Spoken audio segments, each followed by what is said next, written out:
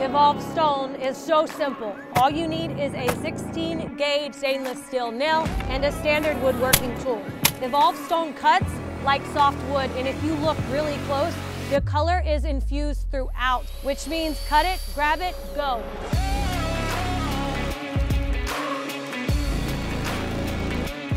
Evolve Stone is also incredibly lightweight. One box weighs less than 30 pounds.